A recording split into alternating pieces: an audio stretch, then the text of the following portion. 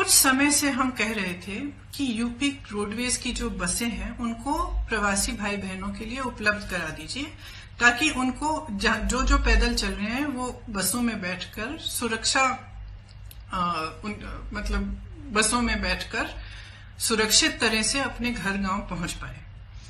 तो हम काफ़ी समय से ये सुझाव दे रहे थे ये मांग कर रहे थे। जब एक दिन कई हादसे हुए, कई एक्सीडेंट हुए। और हमने देखा कि यूपी की रोडवेज़ की जो बसें हैं, वो अभी भी सक्रिय नहीं हुई हैं। तो हमने एक मुख्यमंत्री जी को एक चिट्ठी लिखी कि हम हज़ारों बस, हज़ार बस को उपलब्ध करेंगे। गाजियाबाद और नोएडा बॉर्डर पर हम इन बसों को रोक देंगे। और आप अगर अनुमति देंगे इसके संचालन के लिए तो जो प्रवासी भाई बहन दिल्ली और एनसीआर क्षेत्र से चल रहे हैं, उनको हम इन बसों में बिठाकर अपने घर तक पहुँचा देंगे। तो अगले दिन मुख्यमंत्री जी ने ये ऐलान किया कि यूपी रोडवेज़ की 12000 बसें हैं, इन्हीं का इस्तेमाल होगा और आपकी बसों की ज़रूरत नहीं है। तो हमने 17 तारीख को सुबह 500 बसें गाजियाबाद में खड़ी की थी, हमने उनको वापस भेज दिया। अगले दिन उनसे एक और चिट्ठी मिली कि आप अपनी लिस्ट दे दीजिए और हज़ार बस की आप लिस्ट दे दीजिए, उसमें चालक का नाम होना चाहिए, परिचालक का नाम होना चाहिए, फिटनेस सर्टिफिकेट वगैरह सब कुछ आदि होना चाहिए, ये हमारे पास पहुँचा दीजिए। तो हमने उनको धन्यवाद दिया कि आपने हमें अनुमति दी है बसों को चलाने के लिए, आपको हम लिस्ट उपलब्ध कर देंगे। तो चार पाँच घंटों बाद हमने वह लिस्ट उपलब्ध कर दी। फिर साढ़े ग्यारह बजे रात को उनसे एक और चिट्ठी मिली कि आप अपनी हज़ार बसें लखनऊ पहुँचा दीजिए, कल सुबह दस बजे। तो इसमें हमने कहा कि देखिए, हमारी बसें खाली दिल्ली से लखनऊ जाएँगी।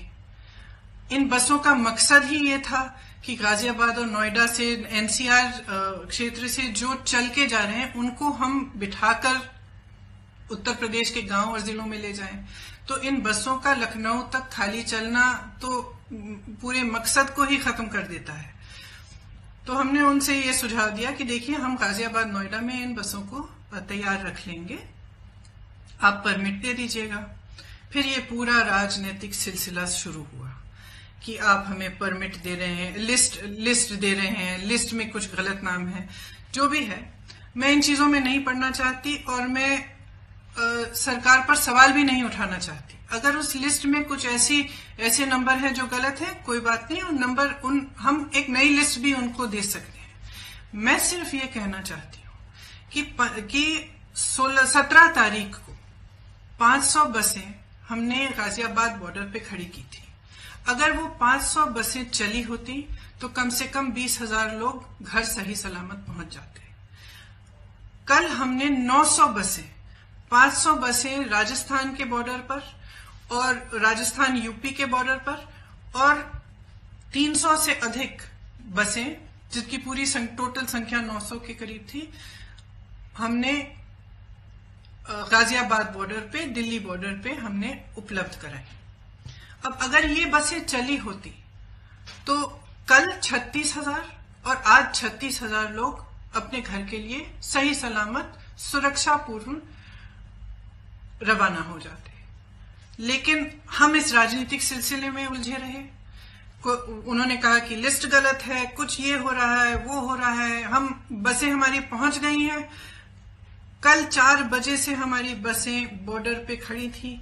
उनको आगे परमिट यूपी के, जहाँ पे उन्होंने कहा था कि यहाँ पे हमें गाजियाबाद और नोएडा में दो पॉइंट्स दिए थे, यहाँ तक पहुंचाइए, वहाँ जाने का परमिट ही नहीं दे रहे हैं यूपी के अंदर। तो बसें खड़ी रही, आज भी खड़ी हैं। मैं सिर्फ़ ये कहना चाहती हूँ कि देखिए चार बजे चौबीस घंटे हो जाएँगे कि ये बसें उपलब्ध हैं। अगर आपको इस्तेमाल करनी है तो इस्तेमाल करिए। हमें अनुमति दीजिए। आपको भाजपा के झंडे लगाने हैं इन पे अपने भाजपा के स्टिकर लगाने हैं तो बेशक लगाइए। बेशक लगाइए। आपको अगर कहना है कि आपने उपलब्ध कराई है, तब भी कराइए। लेकिन इन बसों को चलने दें।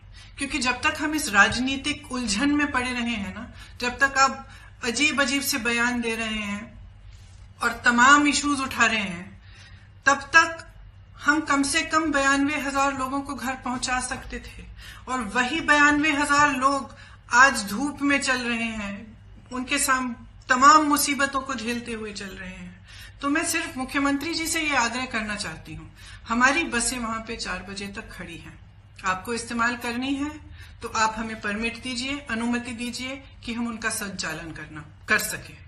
अगर आपको नहीं इस्तेमाल करनी है तो भी कोई बात नहीं। हम उनको वापस भेज देंगे। हमने तीन दिन पहले भी वापस भेज दिया था 500 बसों को। हम वापस भेज देंगे।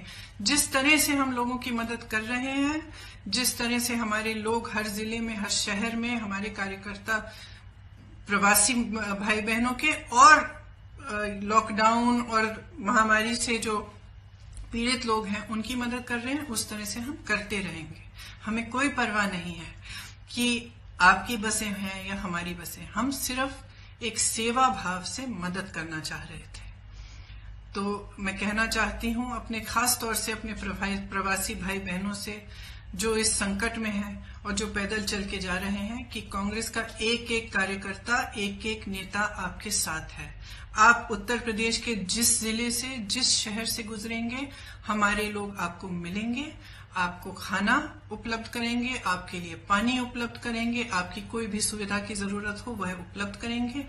हमारी जो हमारी जो क्षमता है, उससे हम पूरी तरह से आपको मदद करने की कोशिश करेंगे और हम आपके साथ इस संकट में खड़े हैं। धन्यवाद।